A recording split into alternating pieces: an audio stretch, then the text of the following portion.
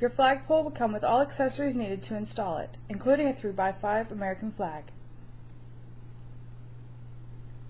Begin your installation by digging a hole approximately 12 inches in diameter and 22 inches deep in hard soil conditions. A larger hole may be needed in light soil. Place a bed of gravel or small rock in the hole. Install the stop bolt and nut through the sleeve as shown. This is important because it will keep the flagpole up off the bottom of your hole. Place the sleeve in the hole with the stop bolt facing down. Put the small rock or gravel in and around the sleeve to a height of 2 inches from the bottom of your sleeve. Once your concrete is mixed, pour the concrete around the sleeve and fill the hole approximately 1 inch from ground level. Allow the concrete or cement to dry for 24 hours before proceeding.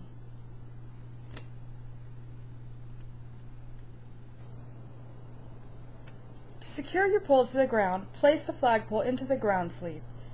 Using the Allen wrench supplied, you want to turn the screw lock four turns to secure the collar to the pole.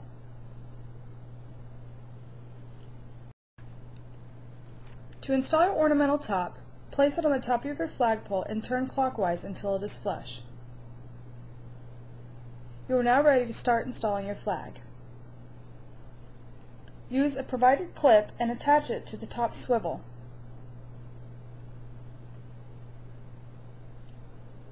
Use the other provided clip and attach it to the top of the second swivel. Place the grommet of your flag through the provided clip.